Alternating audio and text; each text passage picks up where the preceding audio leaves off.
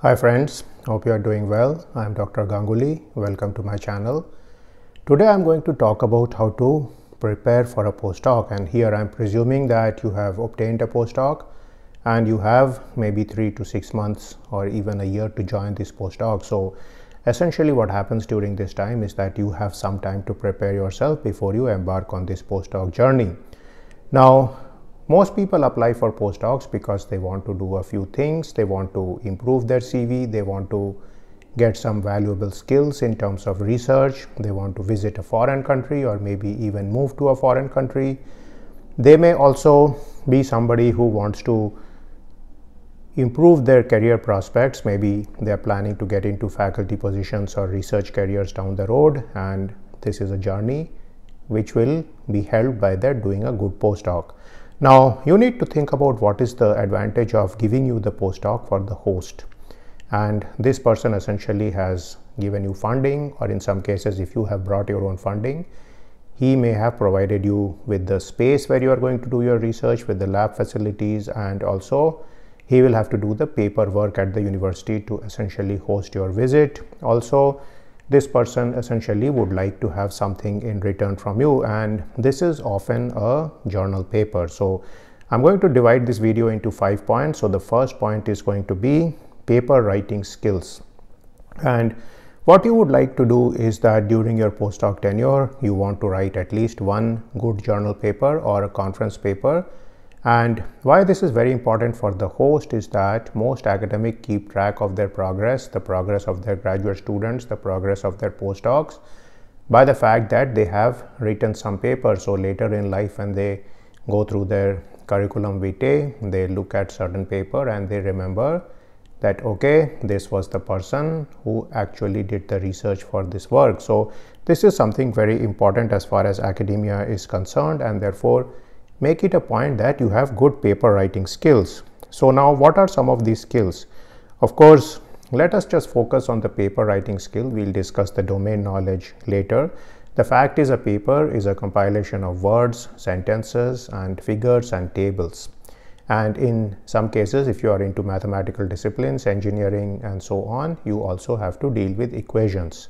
Now, one thing which is going to be there in all papers is figures and tables. And so you need to figure out a way to make good figures and you can do this in Microsoft Excel, you could do this in MATLAB, you could do this in some different tool also. For example, you could make use of Python and Matplotlib. Also some statistical softwares are there such as R, SPSS, you can take advantage of these also. Now you need to have some prior knowledge about what the lab is using you can actually ask some of the lab people, even the professor as to what is the software they are using to do all their paperwork and their research and it's a good idea to know some of these things because it varies differently based on different lab. Now for word processing you certainly need to know Microsoft Word and if you are a person who is going to deal with equations and math you need to know LaTeX. So these two softwares are going to be very important if you are completely in the Microsoft Office domain. You can actually make your figures in Excel and you can import them into Microsoft Word. You can then make PowerPoint slides to make presentations. So this presents a complete framework to do your research and to present your work. This is often very suitable for social sciences and humanities domain. Now, if you are somebody in the technical field, then you will have to know MATLAB, you will have to do all your number crunching in MATLAB most universities will have a MATLAB license which your host may be able to get to you. But in some cases, if you don't have access to MATLAB, you may have to use Python because Python is free. It is an interpreted language. You can easily download it and you can write code in MATLAB. You can generate plots in Matplotlib and then you can import all this stuff into LaTeX. So that is another way to write papers. Now you will have to do a lot of calculations in many cases. These calculations deal with data. So you can do many of these calculation in Excel. Many people don't realize how much power Excel actually has.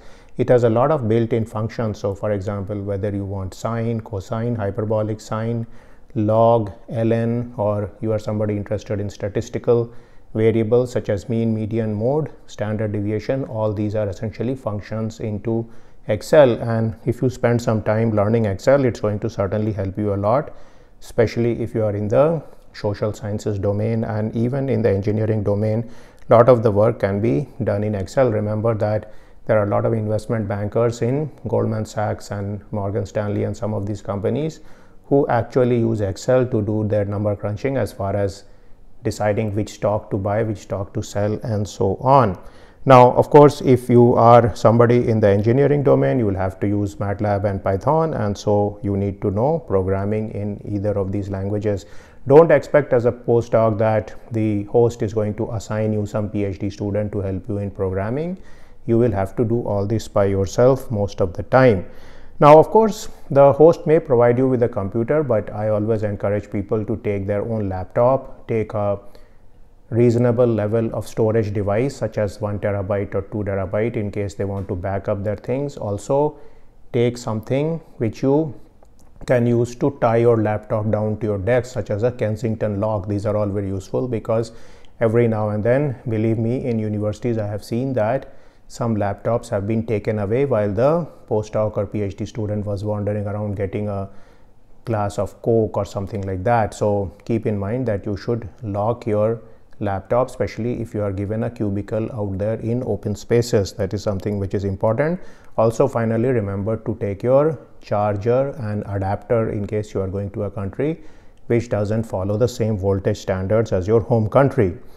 Now let's come to number point two and this is about communication skills. Now of course, you all know that communication skills are very important in research and this is not just the written communication skills in writing papers. You also have to communicate with the host professor, with the various team members and so on. And you need to attend a weekly meeting most of the time. So your host professor may have a weekly meeting and make sure that you take part in this meeting.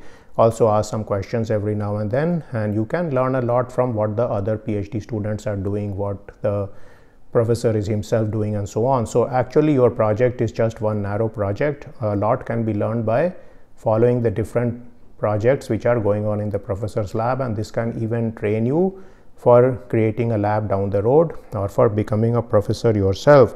Now it's important at that time to be collegial in your interaction with the different PhD student. Do not act like a boss because you are a postdoc. You are not really their boss. You are kind of a mentor to them, but their boss is actually the professor who has invited you.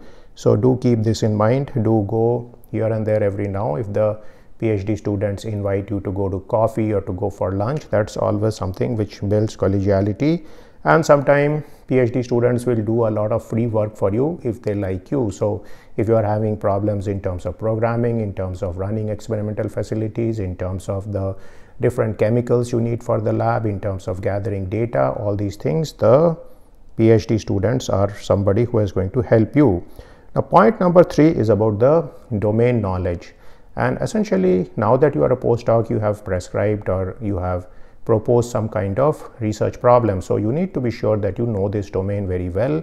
So, it is expected that whatever field you are in, you know the literature of that field quite well and also you know the basics or fundamentals of your field very well. So if you are somebody who is trying to do a postdoc in a broad field of mechanics make sure that you know the basic principles of mechanics very well whether it's newton law whether it is hamilton principle whether it's lagrange equations and so on. If you are somebody in social sciences make sure you know the latest buzzwords which are going on in your field such as intersectionality. If you are in computer science make sure that you know all the things which are going on in terms of machine learning, deep learning and so on because I'm sure your host professor would be very excited if you try to apply any of the latest deep learning theories in the problem. Your problem may be something else, but you do need to know what is happening in the field which you are in. Now, the fourth point is that know your advisor and this is something which is relatively easy to do from their web page. So what i mean is that know the journals where they publish know the place where they have done their degree from when they have done their degree know the conferences where they go to. All this information can be easily garnered from checking out this person in google scholar scopus or web of science.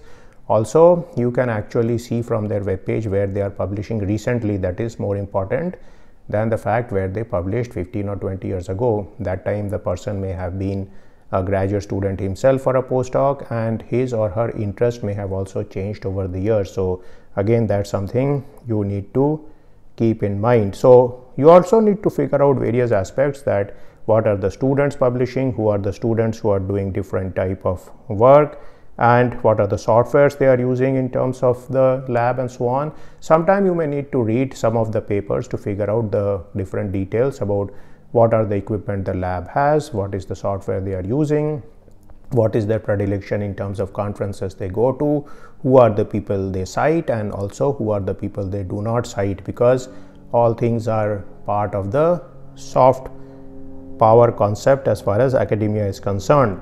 Now, the fifth point is going to be about travel and visa. So, if you are somebody who is relocating to go to this place, very often you are going to have to do a lot of paperwork and advanced preparation. So you may need to book your tickets. If you are going to a foreign country you may need to get the visa. You may need to book the flight and so on.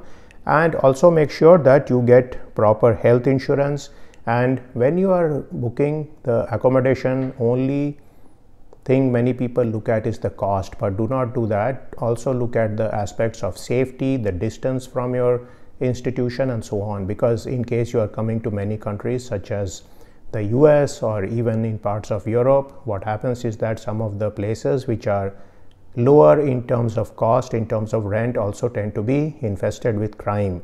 So make sure you stay in a neighborhood where there are people whom you know where the crime chances are less and in some cases it may be okay to share a room with somebody else maybe a phd student or a different postdoc rather than get a one bedroom apartment at a place which is kind of dangerous to stay in. If you can find a place where you have relatives or you have friends it is certainly going to be advantage to you now do keep in mind that there are many facebook groups out there which will help you in this relocation process. So you can figure out the different apartments the different grocery stores the different places you can frequent to eat your food and so on. If you have any food restriction you need to keep that in mind also whether you can get the appropriate food where you are staying and whether if you get an apartment you are allowed to cook or not. So some of these things are going to be very important for you so these were some of the points I had for you about how to prepare for a postdoc. Like I have mentioned before, it's a combination of hard skills and soft skills.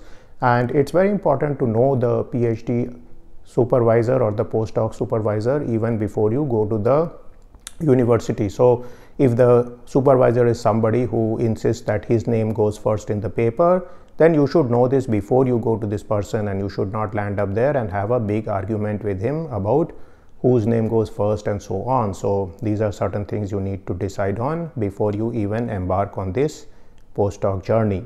So I hope this video is useful to you and I will see you in a video sometime soon. See you then.